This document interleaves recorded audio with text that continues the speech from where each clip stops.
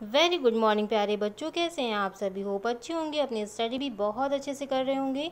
बच्चों, आज हिंदी में नया चैप्टर स्टार्ट किया गया है, पार्ट पाँच, सिंधबाद की यात्रा, जो कि आपके क्लास ग्रुप में दिया गया है। आप चैप्टर को अच्छे से रीड करेंगे और साथ में उसका शब्दार्थ भी लिखेंगे, ओके बच्चों? वीडियो से आपको प्रश्नोत्तर कंप्लीट करना है तो आप सभी अपनी हिंदी की कॉपी निकालें। आज की डेट मेंशन करें, सेंटर में लिखें लेसन फाइव, उसके नीचे आपको पार्ट का नाम लिखना है, सिंधबाद की यात्रा। देन आपको क्या लिखना है बच्चों? निम्नलिखित प्रश्नों के उत्तर दीजिए। तो देखते हैं बच्चों, प्रश्न नंबर वन, सिंधबाद को क्या शौक था? उत्तर, सिंधबाद को समुद्री यात्राओं का बड़ा शौक था। प्रश्न नंबर दो, सिंधबाद हीरो की घाटी में कैसे पहुँचा? सिंधबाद हीरो की घाटी में पक्षी के माध्यम से पहुँचा। प्रश्न नंबर तीन देखेंगे बच्चों, घाटी में मांस के टुकड़े क्यों फेंके जा रहे थे?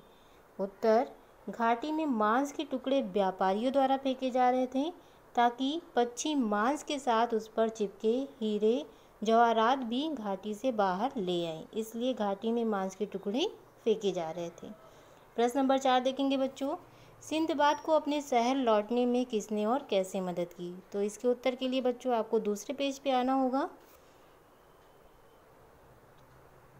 सिंधबाद को अपने शहर लौटने में व्यापारियों ने मदद की और इसके बदले में सिंधबाद ने कुछ हीरे उन व्यापारियों को दे दिए।